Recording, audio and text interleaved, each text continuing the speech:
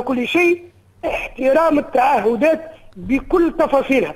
أما إذا كان نمشيو في اتجاه معناها تطبيق ولا سحب الفصل اثنين على جزء من القطاع ونستثني الجزء الآخر وبالمناسبة نحب نأكد اللي راهم السلك الإداري يمثل العمود الفقري للقطاع ويعتبر معناها كل الإداريين والخدمات الإدارية جزء لا يتجزأ من هذا القطاع المتخصص معناه أشد التخصص. هو الإضراب الإداري أنا سبق وعلمت اللي هو الإضراب لمدة أسبوع. ولكن لا إدارية باش تنعقد غدوة. وتعرفوا الكل اللي لا إدارية هي صاحبة السلطة. على الأقل في, في الوقت الحالي. معناها بعد المؤتمر فلا إدارية هي صاحبة السلطة. غدوة تنعقد لا إدارية القطاعية. وباش تنظر في مآلات التفاوض وكل ما آلت إليه اتصالات بيننا وبين وزارة الصحة وباش تقرر ما تراه مناسب دفاعا